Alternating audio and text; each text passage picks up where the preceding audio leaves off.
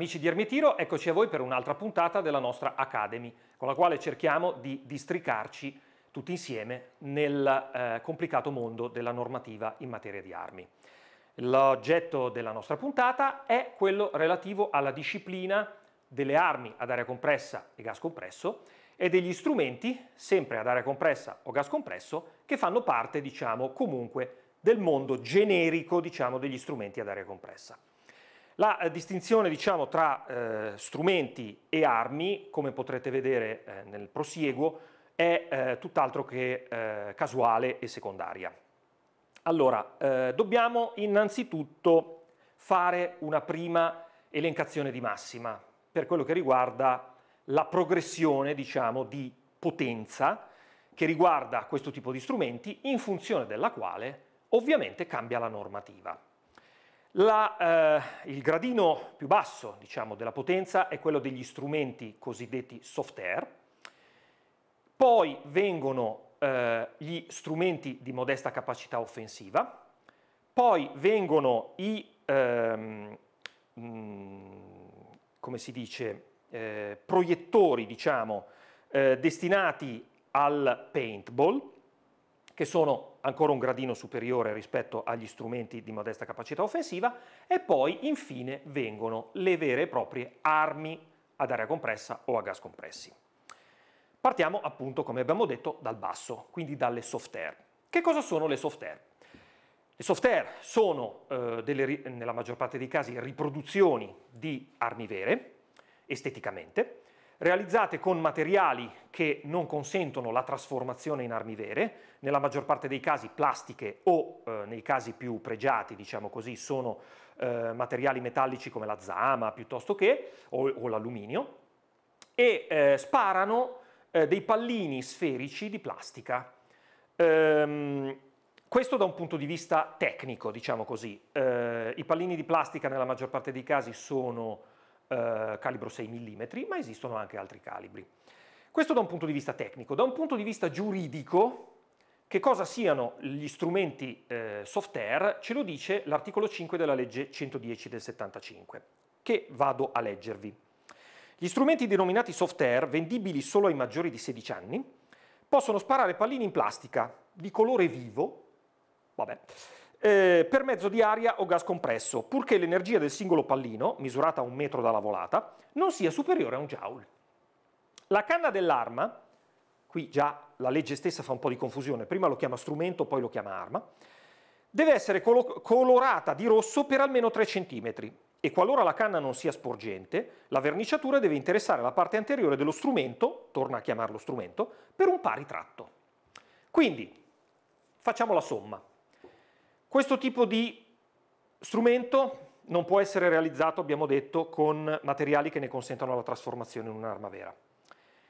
Eh, deve avere la canna o la parte anteriore verniciata di rosso per 3 cm, deve avere una energia cinetica massima di 1 joule e può essere venduta solo ai maggiori di 16 anni. Completiamo il concetto. Eh, la vendita ai maggiori di 16 anni non è soggetta ad alcun tipo di autorizzazione, quindi non ci vuole il porto d'armi o nulla osta, men che meno deve essere denunciata la detenzione, men che meno sono, soggetti, eh, sono, sono previsti limiti alla eh, detenzione in termini numerici. Quindi se uno si vuole fare una collezione di 5.000 software lo può fare e non deve chiedere autorizzazione a nessuno, perché sono fondamentalmente giocattoli. Tutto ciò premesso, in realtà c'è comunque un limite previsto dalla legge, e in particolare dall'articolo 4, secondo comma della legge 110 del 75, che ci dice che sostanzialmente le soft air, analogamente a quanto accade per esempio anche con le cosiddette scacciacani, quindi gli strumenti di segnalazione acustica, non possono essere portate fuori di casa senza giustificato motivo. Quindi significa che se io eh, devo partecipare a un cosiddetto wargame, quindi una competizione che prevede l'utilizzo degli, degli strumenti software, avrò sicuramente un giustificato motivo per portare la software con me, sicuramente quantomeno quando sono nel mezzo del gioco. Quando sto andando al campo di gioco e ne sto tornando, la cosa migliore è tenere la software, ovviamente scarica, e poi chiusa in una valigetta, in una borsa, in un contenitore che non ne consenta, diciamo, l'immediata fruibilità. Perché altrimenti ovviamente si contesta il porto e non il trasporto e il porto necessita del giustificato motivo.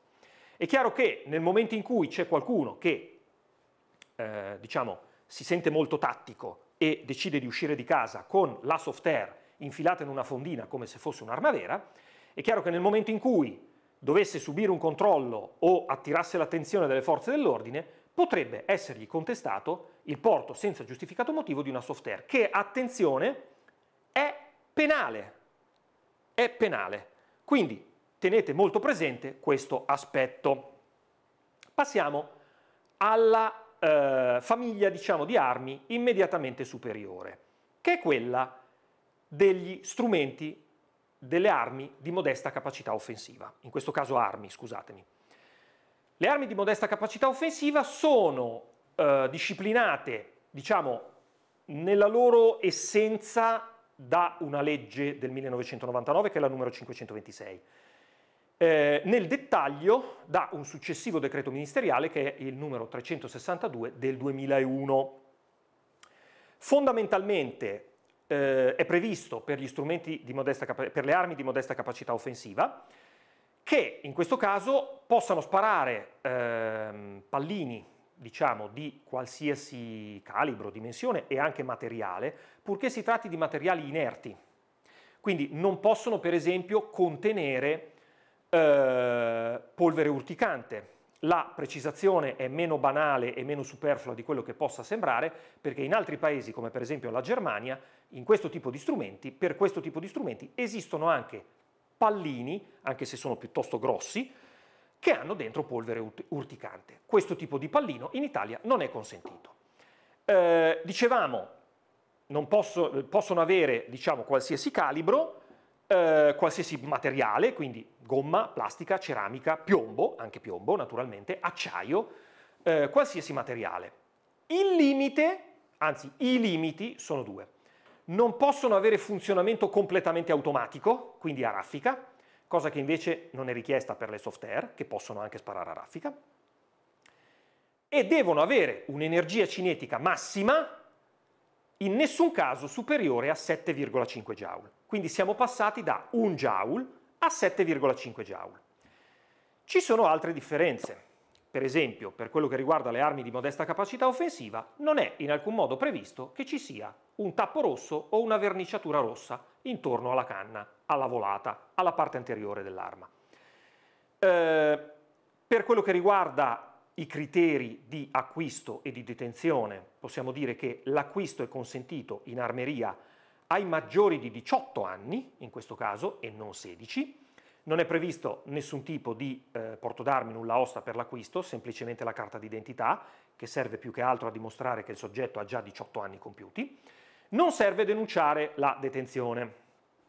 Anche in questo caso eh, il porto intendendosi quindi con l'arma carica e nella pronta disponibilità, o anche scarica, ma comunque nella pronta disponibilità, sempre secondo il decreto ministeriale del 2001, è consentito con giustificato motivo, mentre invece ovviamente è consentito eh, senza particolari vincoli o limiti il trasporto e il decreto del 2001 prevede anche eh, la esplicita possibilità di farne utilizzo, oltre che nei poligoni, anche in un luogo idoneo non aperto al pubblico. È anche consentito l'utilizzo ai minori, purché sotto la supervisione di un maggiorenne. Eh, diciamo che eh, in estrema sintesi questa è la disciplina vigente per quello che riguarda le armi di modesta capacità offensiva. È chiaro che ci sono molti altri aspetti che riguardano per esempio la eh, importazione, esportazione, tutte queste cose qui, ma eh, appare tutto sommato ridondante parlarne in una puntata tra virgolette generica come questa. È importante tuttavia dire che nel momento in cui un soggetto che ha comprato in armeria una mh, mm, modesta capacità offensiva e vuole cederla, regalarla, venderla eh, o anche darla in comodato a un altro soggetto, il decreto del, 2002, eh, del 2001 prevede che si faccia una scrittura privata tra i due, acquirente e cedente, che eh, peraltro non viene indicato nessun eh, limite temporale entro il quale deve essere conservata. Quindi se cedete comunque queste armi di modesta capacità offensiva a un terzo, la cosa migliore è che facciate due righe scritte con le generalità dell'acquirente e del cedente e che ve la teniate da qualche parte a futura memoria. La scrittura privata, sempre secondo quello che dice il decreto del 2001, non è prevista nel momento in cui si parla di comodato non superiore alle 48 ore. Ora, è chiaro che mh, diventa anche un pochino difficile eh, nel momento in cui non c'è niente di scritto stabilire quando abbia avuto inizio effettivamente il comodato, ma questo è un altro discorso.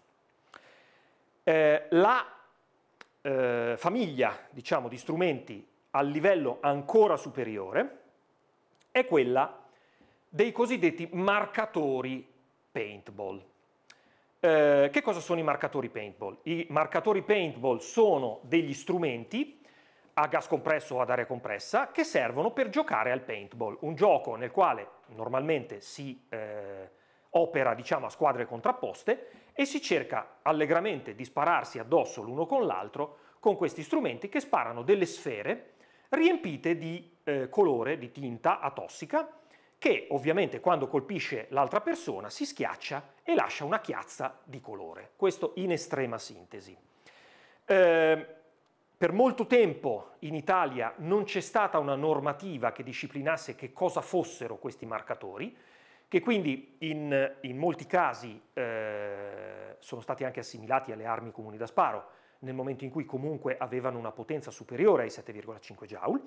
Eh, Recentemente è stata fatta una modifica all'articolo 2 della legge 110 del 75 prevedendo una specifica disciplina che dice non sono armi gli strumenti ad aria compressa o gas compresso a canna liscia e funzionamento non automatico, anche in questo caso non possono sparare a raffica, destinate al lancio di capsule sferiche marcatrici prive di sostanze o miscele classificate come pericolose, che erogano un'energia cinetica non superiore a 12,7 joule. Quindi siamo su un gradino ancora superiore purché di calibro non inferiore a 12,7 mm e non superiore a 17,27 mm.